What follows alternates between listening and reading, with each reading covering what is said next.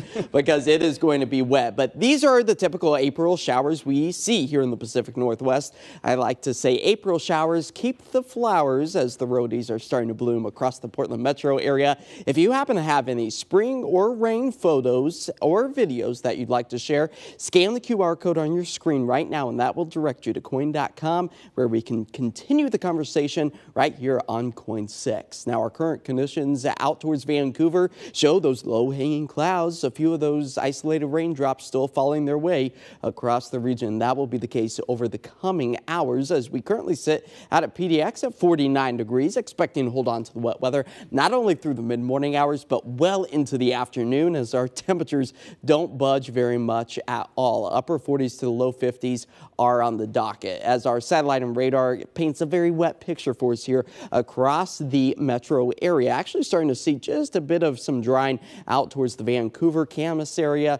but that is all short-lived. Everything's tracking its way from the southwest to the north and east as the atmospheric river continues to flow all of that wet weather from the state of Hawaii right into our neck of the woods where we're actually picking up out towards Longview some heavier downpours that have been persistent over the past several hours indicated by those yellows, oranges, reds, and even some maroons, something we don't always typically see. But it's been a soggy April for us, already managing to put an inch and a quarter of rain into our rain gauge so far this month. And even back on the 8th, picking up on just a trace of the rain, that puts our departure from normal with a surplus of three quarters of an inch. With all of that wet weather, it's helping to rise our rivers here, not only over the Cascades due to the higher snow elevations, the rain falling over the snow is melting that, and that all eventually ends up into our rivers and streams. That's the where the Tualatin River is near flood stage for us as we crest at about 17 inches or so. Not only are we looking at the rivers on the surface, but up in the atmosphere, that's where the atmospheric river is taking aim at the Pacific Northwest. The flow of moisture all the way from the Pacific onshore moves up over the Coast Range into the Willamette Valley and falls as snow up in the highest levels of the atmosphere.